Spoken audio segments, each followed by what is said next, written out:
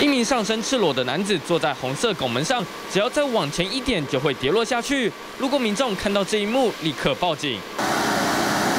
消防人员接获通报，凌晨十二点多时，在连接双北市的光复桥上，有一名男子不知道什么原因，就这样爬上桥上拱门。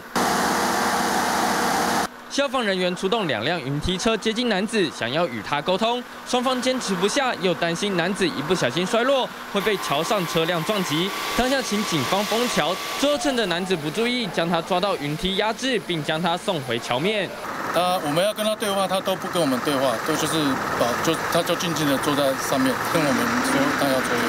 然后我们用相应的。所幸这起事件没有造成更严重的意外，男子在消防人员的陪同下被送上救护车前往医院。但这一名男子为什么做出这样危险爬桥的举动，警方还在了解厘清当中。记者许志明新北市报道。